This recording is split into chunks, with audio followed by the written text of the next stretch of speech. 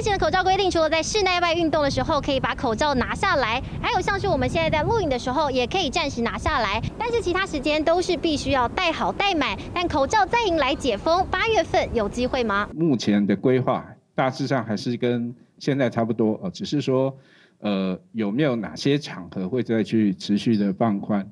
那这个部分我会再持续的演绎。谈口罩全面解封时机点稍嫌太早，不过特定场合放宽有机会。看看目前免戴口罩场合一共九大类，包括室内外拍照、个人或团体照、谈话性质工作、游泳、玩水、自行开车或是外出有饮食需求等等才可以拿下来。不过天气渐渐炎热，口罩实在戴不住，运动员感受最深。嗯，把船啊搬到水面上。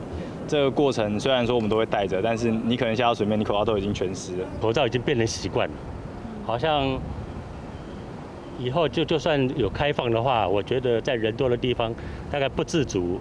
还是会带起来。专家也认为，未来口罩禁令最好转为软性管理，才能尽量不影响正常生活。评估目前疫情也逐渐看到受控的希望。北北基桃竹苗、宜花东疫情曲线都率先下降，预计就快走入感染率百分之二的地方流行平原期。目前来讲，啊，因为我们的各个年龄层都已经下降，从这个呃零到十九岁一直到七十岁以上都有下降，所以北北基桃，呃，以我们的这样的一个推估，呃，在六月底有望降到一万以下。年族群感染后的抗体免疫，加上疫苗覆盖率，形成免疫防火墙。北北基桃达到百分之七十九最高，竹苗、宜花东、台南、高雄也都有七成以上，只有中彰头、云嘉地区落在百分之六十五。整体疫情走向乐观，长远防疫的决胜点还得靠民众打疫苗、戴好口罩来维持，才能加速疫情落地。三立新闻娱乐新闻台北采访报道。